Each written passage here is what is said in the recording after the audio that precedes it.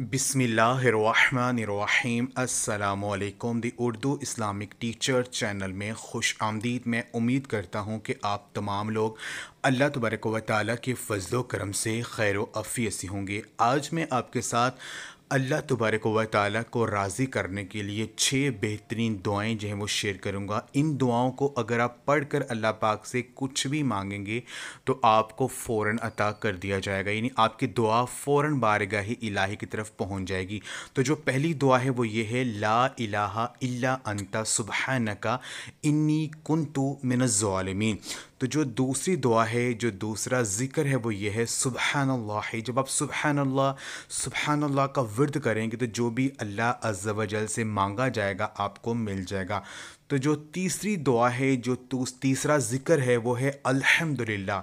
जब आप अल्हम्दुलिल्लाह अल्हम्दुलिल्लाह का वर्द करेंगे तो जो भी अल्लाह अज्जवजल से मांगा जाएगा, आपको मिल जाएगा।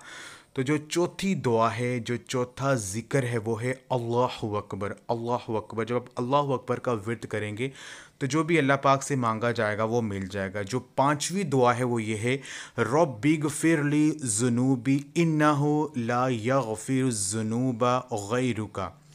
ये जो दुआ है, इसको पढ़ पढ़ कर भी अल्लाह पाक से जो मांगा जाए, वो मिल जाता है। जो छठी दुआ है, वो ये है, या मुकलबल कलूबी सबित कल्बी अला दीनी का इस दुआ को भी पढ़कर अगर अल्लाह तबारक व से कुछ भी मांगा जाए तो वह फ़ौर अता कर दिया जाता है। तो ये थी छः दुआएँ। इन छः दुआओं को पढ़कर जो भी अल्लाह पाक से मांगेंगे, अगर आप इन दुआओं में से छः दुआओं में से कोई एक भी दुआ अगर आप पढ़ लेते तो जो भी अल्लाह तबारक व ताली से हम मांगेंगे, आपको फ़ौर अता कर दिया जाएगा। ये अमल आप ख़ुद भी करें, इस वीडियो को लाजमी शेयर भी करें। जजाकल्ला